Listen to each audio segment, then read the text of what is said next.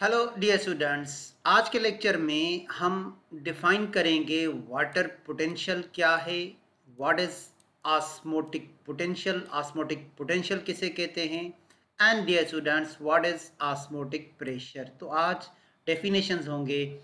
Short lecture है आज का वाटर पोटेंशियल आस्मोटिक पोटेंशियल और आस्मोटिक प्रेशर के डेफिनेशन पे। Okay dear students dear students हमने कल ही पढ़ा था तो डियर स्टूडेंट्स हमने वाटर पोटेंशियल को क्या पढ़ा था? Water potential is the free kinetic energy of water molecules पानी के मालिक्यूल्स के अंदर फ्री काइनेटिक एनर्जी होती है, जिसकी वजह से किसी भी सिस्टम में पानी के मालिक्यूल्स को एक पर्टिकुलर डायरेक्शन मिल जाती है। वो एक जगह से दूसरी जगह पे मूव करते चले जाते हैं। तो ये वाटर पोटेंशियल का डेफिनेशन हमने कल ही डिस्कस किया है। तो डियर स्टूडेंट देखें, हम आज एक बीकर ले रहे हैं, ठीक है?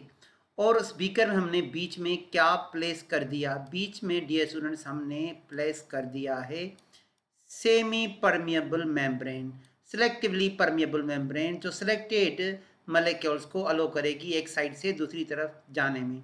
तो इस बीकर के कितने चेम्बर्स हो गए? दो, एक चेम्बर ए और दूसरा चेम्बर बी अब डियर देखें, जो चेम्बर बी नज़र आ रहा है, उसमें आपको सिर्फ़ और सिर्फ़ वाटर के मलेक्यूल नज़र आ रहे हैं। ये you see one water molecule ये यू सी सेकेंड ये यू सी थर्ड फोर्थ तो आपको यहाँ पे प्योर वाटर के मालिक्यूल नज़र आ रहे हैं चेम्बर बी में।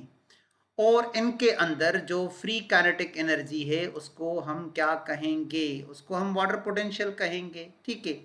तो ये वाटर पोटेंशियल की वजह से फ्री मूवमेंट शो करेंगे। इसको हम कहते हैं water potential so dear students water potential is the pressure exerted on membrane by pure water when two systems one is the pure water and the second system is solution are separated by semi permeable membrane तो देखें, हमने जो chamber B है, उसमें तो pure water रखा है, ठीक है? मगर जो चेम्बर ए है डी स्टूडेंट्स उसमें यहाँ पे आपको साल्यूट्स के मलेक्यूल्स नज़र आ रहे हैं साल्यूट्स नज़र आ रहे हैं, ठीक है? तो ए में सॉल्यूशन हो गया तो हमने प्योर वाटर को सॉल्यूशन से सेपरेट कर दिया सेमी परमेबल मेम्ब्रेन से।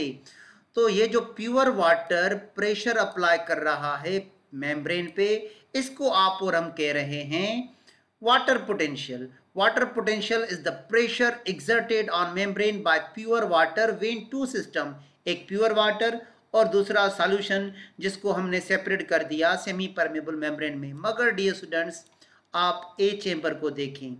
यहाँ पे आपको सॉल्यूट्स नज़र आ रहे हैं तो यहाँ पे डियर स्टूडेंट्स आपको सॉल्यूशन मिलेगा। डियर स्टूडेंट्स इस चेम्बर ए में वाटर के साथ आपको सॉल्यूशन नज़र आ रहे हैं तो यहाँ पे क्या हो गया? सॉल्यूशन। तो यहाँ से, इस तरफ़ से सॉल्यूशन का प्रेशर अप्लाई हो रहा है किस पे? सेमी परमेबल मेम्ब्रेन पे। तो जो सॉल्यूशन का प्रेशर अप्लाई हो रहा है डियर स्टूडेंट्स, उसको आप और हम कहेंगे ऑस्मोटिक पोटेंशियल। तो अब हम आते हैं डेफिनेशन की तरफ़। What is osmotic potential dear students, in this model there is opposite pressure from solution solution दूसरे चैम्बर से अपना प्रेशर अप्लाई कर रहा है।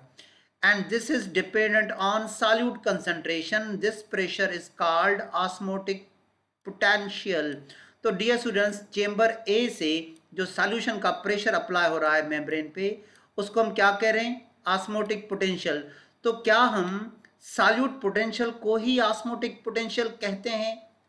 एब्सोल्युटली राइट डियर स्टूडेंट्स सा एस हमने कल पढ़ा था। solute potential sa is also called osmotic potential तो आपको बिल्कुल भी कंफ्यूज नहीं होना, डियर स्टूडेंट, ये जो ऑस्मोटिक पोटेंशियल यहाँ पे लिखा गया है, ये एक्चुअली साल्यूट पोटेंशियल है और इसका वैल्यू हमेशा नेगेटिव होता है, ये हमने कल ही पढ़ लिया था। अब क्या होगा डियर स्टूडेंट्स कि यहाँ पे वाटर पोटेंशियल कम होगा, यहाँ पे वैल्यू नेगेटिव है। यहाँ पे वाटर पोटेंशियल कम है, मगर ऑस्मोटिक पोटेंशियल ज़्यादा है और बी में वाटर पोटेंशियल ज़्यादा है तो क्या होगा कि यहाँ से सालवेंट के मालिक्यूल्स बी से ए में आएँगे, ठीक है? तो ए में वाटर का कंसंट्रेशन बढ़ेगा। डी स्टूडेंट जैसा कि मैंने कहा कि बी से ए में पानी के मालिक्यूल ज़्यादा आ जाएँगे तो यहाँ से पानी के मालिक्यूल कहाँ चले गए? चेम्बर बी से ए में चले गए तो यहाँ पे स्टिल मूवमेंट हो रहा है। किसका मूवमेंट हो रहा है? पानी का। तो पानी का लेवल ए में बढ़ रहा है, क्योंकि यहाँ बी में वाटर पोटेंशियल ज़्यादा है और ए में वाटर पोटेंशियल कम है।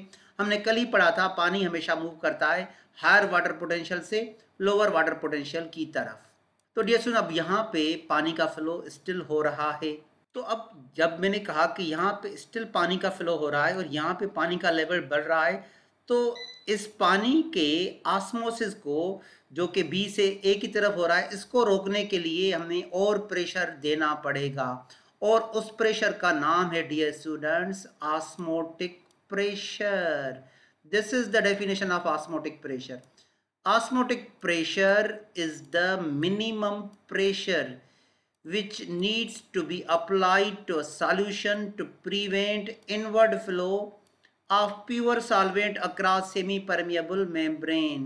डियर स्टूडेंट्स अगर हम इस सॉल्वेंट के मालिकल्स को रोकना चाहते हैं स्टॉप करना चाहते हैं कि वो बी से ए चैम्बर में ना आए तो हमें कौन सा प्रेशर देना पड़ेगा? Osmotic pressure is the minimum pressure which needs to be apply to solution to prevent the inward flow of pure solvent across तो हमें इस सॉल्यूशन में प्रेशर डालना पड़ेगा। तो वो डी स्टूडेंट्स हम प्रेशर किस चीज़ से देंगे?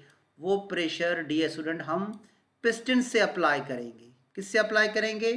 पिस्टन से अप्लाई करेंगे। डी स्टूडेंट्स अगर हम इस साइड पे डी स्टूडेंट्स अगर हम इस साइड पे पिस्टन का प्रेशर अप्लाई कर दें तो यहाँ पे प्रेशर आ जाएगा। किसका? पिस्टन्स का। और यहाँ से मालिक्यूल्स की वाटर के जो मालिक्यूल्स हैं सॉल्वेंट के जो मालिक्यूल्स हैं, वो आना बंद हो जाएँगे। तो ये लाइन अब डियर स्टूडेंट्स पढ़िएगा।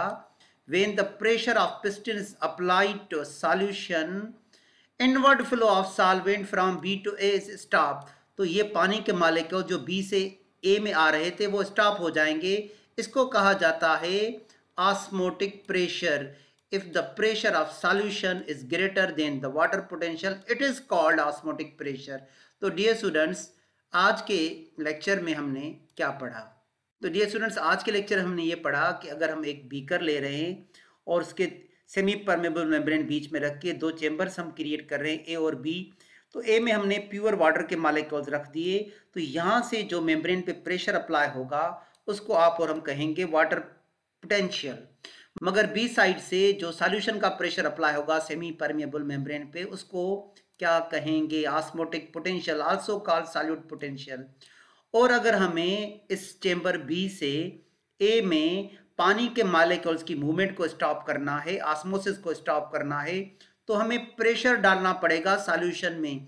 तो सॉल्यूशन में जो हम मिनिमम प्रेशर अप्लाई करते हैं सॉल्वेंट की मूवमेंट को इनवर्ड आने से रोकने में, उसको कहा जाता है osmotic pressure it is the pressure minimum pressure which needs to be applied to solution to prevent inward flow of pure solvent across the membrane वो प्रेशर हमने दिया पिस्टन से so when the pressure of piston is applied to solution inward flow of solvent from B to A is stopped so this is called osmotic pressure thank you dear students